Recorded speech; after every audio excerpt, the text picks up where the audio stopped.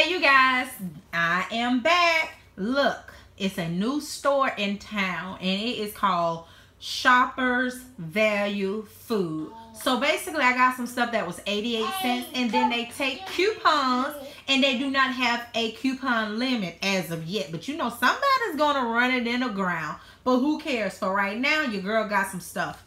The Minute Maid uh, juice was a dollar and 72 cents. I used a dollar off coupon.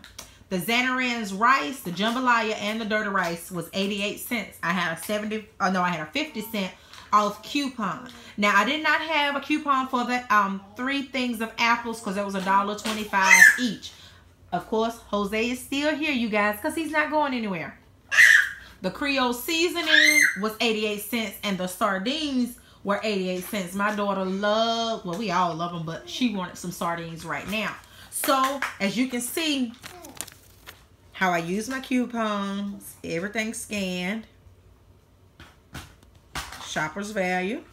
Now it is a uh, a 10% surcharge, so I had to pay an extra two dollars and four cents on this. Um, look, Jose, look, Jose, look, look, look, look, look, look, look. Come on, be in the camera. Uh uh. Look, Jose, look, look. Technical difficulties.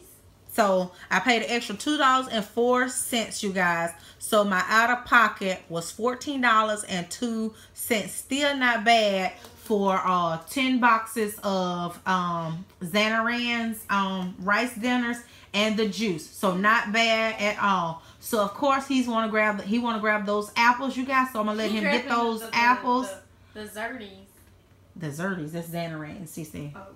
So this is um Shoppers Value, new store in our area, you guys. 10% surcharge, no limit on coupons. So some good deals. I know they have the Gain um detergent for $3.98 on sale. So you have the $2 off IP makes it $1.98 for the 50 ounce jug. So this is Miss Save a Lot. Subscribe to my channel and you guys have an awesome day. But CC want to say something.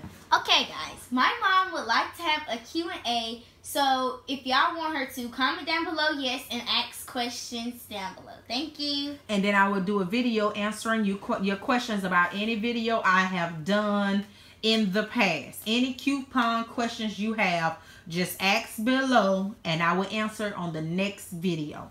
All right, you guys have a great day.